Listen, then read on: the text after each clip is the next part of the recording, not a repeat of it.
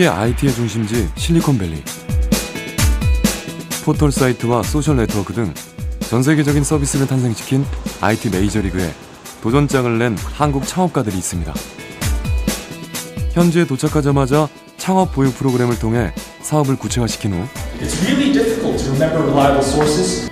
Automatic 중간 평가를 받았는데요. relevant information. 성장과 가능성을 보여준 팀은 잔류.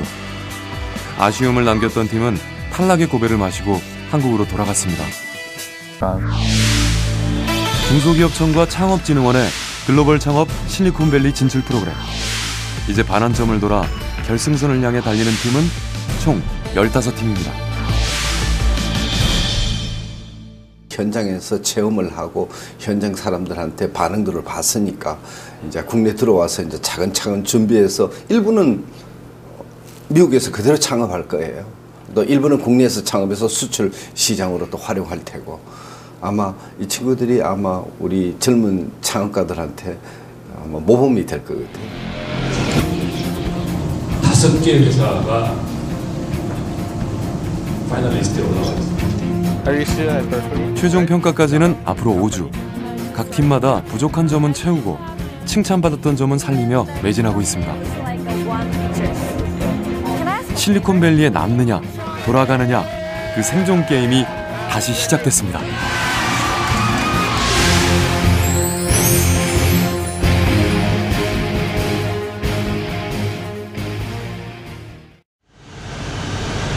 실리콘밸리에서 펼쳐지는 두 번째 라운드.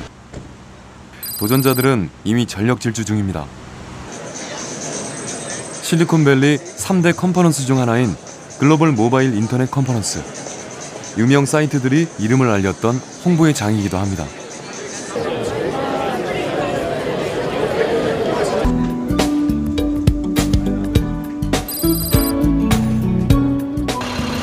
최종 평가를 앞두고 도전자들이 방문한 곳은 실리콘밸리에서 손꼽히는 벤처 창업 지원 회사입니다. 아이디어만 좋으면 이곳 사무실에서 제품과 서비스를 개발하고 프로그램 끝에는 투자자들 앞에서 프리젠테이션 할 수 있는 기회까지는 주는데요. 스타트업 하는 이들에겐 선망의 대상입니다. 되게 자유롭고요. 저 전원이 너무 마음에 들어요. 위에서 내려오는 전원. 공간 활용을 잘한 것 같아요. 풍경 너무 좋아요. 이거, 이쪽 한번 너무 좋죠. 샌프란시스코 해안이 내려다 보이는 풍경까지 네, 부러워요? 아 조금만. 현재까지 실리콘밸리에서 창업한 100개 이상의 스타트업 회사들이 이곳 프로그램을 거쳐갔고요. 400개가 넘는 회사들이 투자를 받았습니다. 실리콘밸리 스타트업에겐 최고의 지원군입니다. 그리고 이곳의 또 하나의 장점, 유럽, 남미, 일본 등 다양한 나라 사람들에게 개방돼 있다는 건데요. 저 한 가지 아쉬운 점은 아직도 여기에 한국 기업이 한 기업도 없다는 게 조금 되게 놀랍고 조금 부끄럽기도 하고 첫 번째 한국 회사가 되고 싶은 뭐 그런 그런 마음. I think the, the biggest piece of advice I would have is is going back to what I'd mentioned earlier, which is don't be afraid to take risks and you know fall down, get back up quickly. You're already taking a huge risk by starting a company anyway, so it's it's, it's going to be a much longer road from here. There's going to be all sorts of things that come up. It could be one could be just maybe you don't get enough customers or users for the product. There's all sorts of things, you know, co-founder issues, can't raise money, you know, partnership falls through. Who knows what'll happen? But the most important thing is that you you keep pushing hard and not be afraid to really not be afraid to take risks and put yourself out there. Otherwise. Um, Otherwise, you know, you'll never know what you and your company will be capable of. So just take risks. Don't be afraid to fall. Just get back up quickly. 실리콘밸리에서의 성공 방정식은 실패를 두려워하지 않는 도전과 실패를 격려해주는 문화입니다. 이제 정말 최종 평가까지 얼마 안 남았습니다.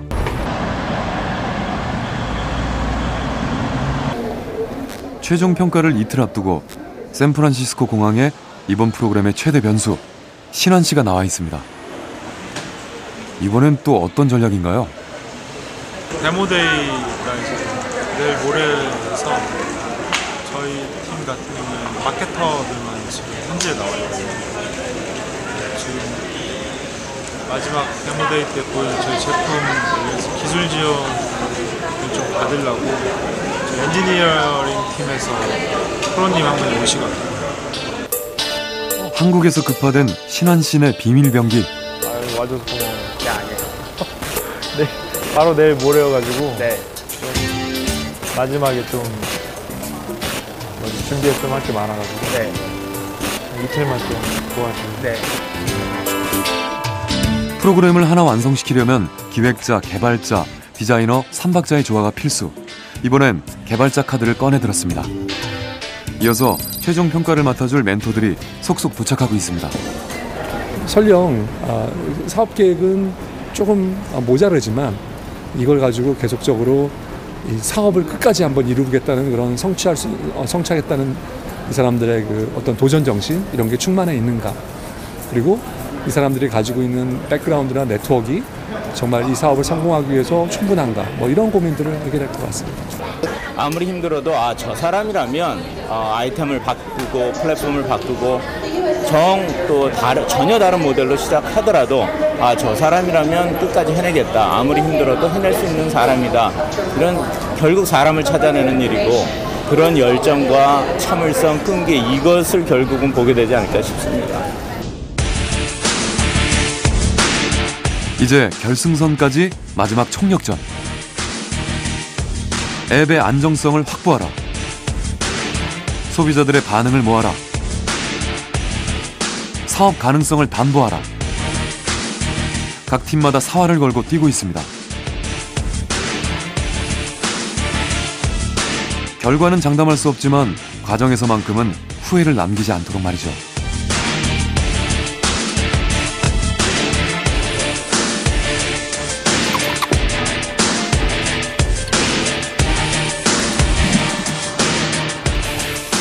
이제 내일이면 최종 평가.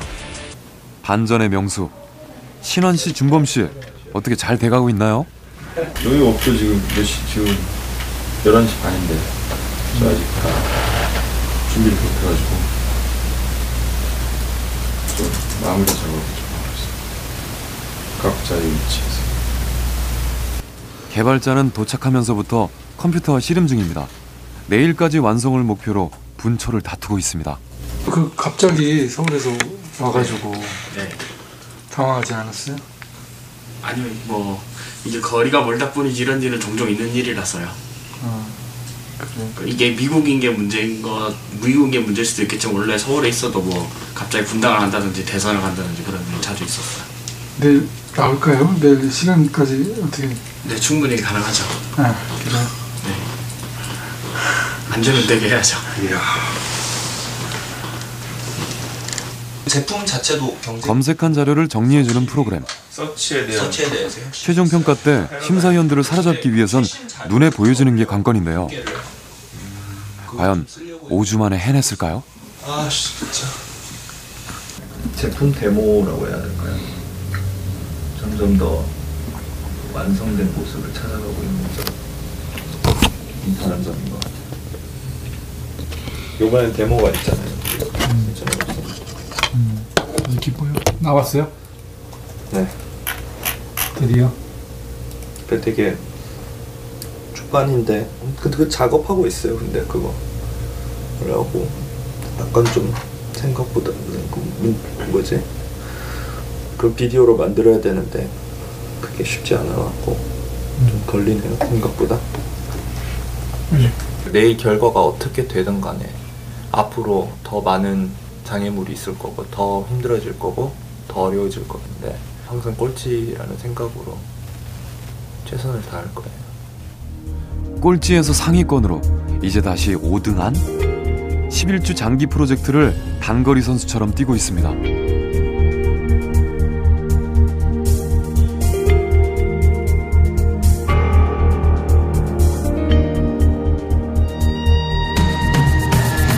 드디어 실리콘밸리 진출 프로그램 마지막 날이 밝았습니다. are going to explain a little bit on, around the 평가를 맡아줄 심사위원들도 도착했습니다. 다 돼가세요? 파이사 합시다. 지금 거진 그 순서가 바뀌어가지고 빨리 가야 돼.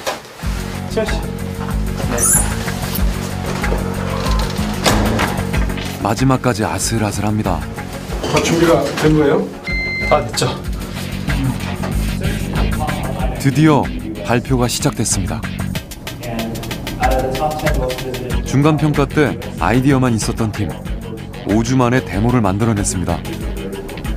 뒤늦게나마 개발자를 투입하며 만든 데모가 큰 힘이 됐나요? 준범 씨의 표정과 말에 자신감이 붙었습니다. 심사위원들도 관심 있게 지켜보는데요. 게다가 시간 배분까지 완벽합니다. 그 프레젠테이션은 정말 참 항상 보면 정말 잘하세요. 이 정도 속도로 계속 간다면 3개월 후에는 제대로 투자를 한번 검토를 해보고 싶다는 생각은 드네요. 대체로 호평입니다. 속 시원하죠. 뭐 지금까지 이날만을 위해서 밤도 많이 새고 했는데 일단 저희가 준비한 건 다 보여줬고 발표함에 있어서 실수도 없었고 어, 저희 팀원들이 고생해 준 걸 가지고 실수 없이 고객 아디언스한테 딜리버리를 한 것 같아요. 네. 거기에 대해서 200% 만족합니다. 떨어져도? 네, 떨어질지언정 뭐 이건 그냥 단순히 과정이잖아요. 결과가 아니니까 하나의 과정으로서 생각을 하고 뭐 시련은 있어도 실패한 건 아니니까. 드디어 11주간 달려온 대장정이 마무리됐습니다. 일본에 가면 그 코이라는 잉어가 있습니다. 조그마한 어항에 넣으면 3인치스까지밖에는 못 큽니다. 강에다가 방류를 하면 무려 한 1m, 한 50까지도 클 수 있는 잉어를 합니다. 부딪히지 않은 거에 대한 막연한 두려움 그런 것들을 좀 없앴으면 했던 것 예사를 이제 결과 발표만이 남았는데요. 과연 어느 팀이 선정됐을까요? 선정한 말람 스튜디오 알람 서비스를 제공했던 팀이 투자를 약속받았습니다. 포플랩 4개의 플랫폼을 연동시킨 팀도 두 명의 투자자를 사로잡았네요. 아이콘 그리고 동영상 서비스를 제공한 팀까지. 이제 남은 팀은 한 팀. 아직 낙심하긴 이릅니다. 심사위원들 모두가 갈 길은 멀지만 분명히 그 길을 갈 수 있어 보인다라고 판단합니다. 마지막 하이라이트를 장식할 팀은 레트로 실리콘밸리에서 가장 큰 변화를 보여줬던 박준범, 한신환 씨죠. 심사위원들은 이들의 가능성을 인정해줬습니다. 탈락이 아쉽지만 실리콘밸리에서의 완주는 곧 성공의 자양분입니다. 벤처 캐피탈은 사실은 human capital이에요. 사람에 대한 투자가 거의 대부분이라고 볼 수 있어요. 왜냐하면 이거는 무슨 뭐 투자를 해놓으면 기계가 무슨 뭘 찍어내는 게 아니라 그 사람들이 힘을 합쳐서 목표를 정하고 달성해내는 그 전 과정에 대한 투자거든요. 그러니까 결국 가장 중요하게 보는 그 항목이 사람이죠. 심장 훈련소에서 마치 훈련을 마치고 나오는 그런 기분이 좀 그래서 마치 자대 배치 받기 전에 그런 해야 되나 그래서 훈련은 뭐 여러 사람이 많이 도움을 주셔서 정말 잘 받은 것 같고 이제 그걸 가지고 실전 필드에 나가서 얼마만큼 잘 그 배운 기술들을 응용하고 활용하는지가 관건일 것 같아요. 결과랑은 무관하게 저희는 앞으로 이제 여기서 사업을 하면서 꼴등이라는 생각으로 진짜 열심히 할 거고 그리고 항상 꼴등으로 남고 싶은 건 아니고 저희도 승리를 하고 싶지만 그런 마인드로 진짜 누구보다도 열심히 누구보다도 빨리 누구보다도 똑똑하게 뛰쳐나갈 IT 정글 실리콘밸리 이곳에선 누가 먼저 성공하는가 보다는 누가 먼저 시대가 요구하는 걸 찾느냐가 더 중요합니다. 어떤 것이 통할까? 그것을 찾아 계속 도전하는 것. 그것이 바로 실리콘밸리에서 살아남는 길입니다.